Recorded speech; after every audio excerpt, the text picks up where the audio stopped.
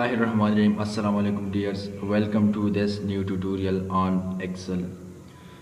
In this video I'm going to show you that uh, how the actual uh, stress strain diagram of a steel bar looks like.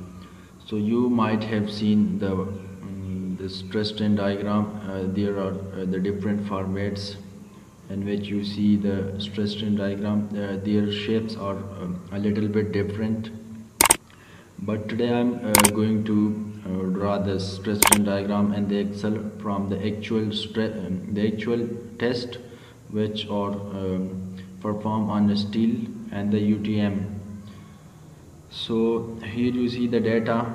Uh, I got the force stroke area and time.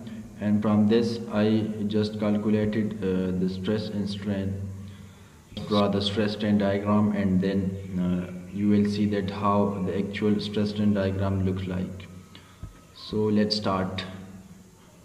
To draw the stress strain diagram first visit the insert tab and from here you see the different options. So I will draw this uh, through this line. So it is drawn but it have selected the whole area. I will remove these also this one.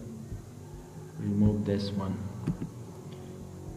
And also let's delete this one. It is uh, formed automatically but I will draw this by selecting the data. So click on the select data and add. So skip the series name and add your X data.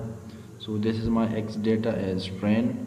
So in order to select these uh, all points these points are in thousand. So there is a shortcut uh, that is control plus shift plus down arrow. So the whole points are selected now. Now moves toward the second thing. So here you see these are about uh, 45,000 uh, plus points. And now let's select the y values uh, that is the stress. So select this one control plus shift plus down arrow and this is selected now. And click ok. And now go to the top. So here you see the diagram. So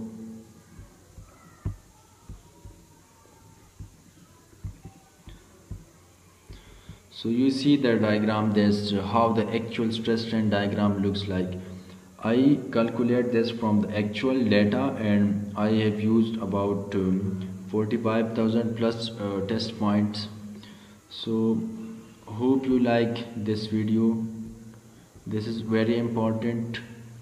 And if you like this video please uh, subscribe to my channel and share this video with your friends and now let me add uh, another thing that is uh, if you want to find the mechanical properties from stress strain diagram so for that I have already made a video uh, and you just follow the rules uh, that I have used to find the mechanical properties like uh, proportional limit yield strength uh, and other properties.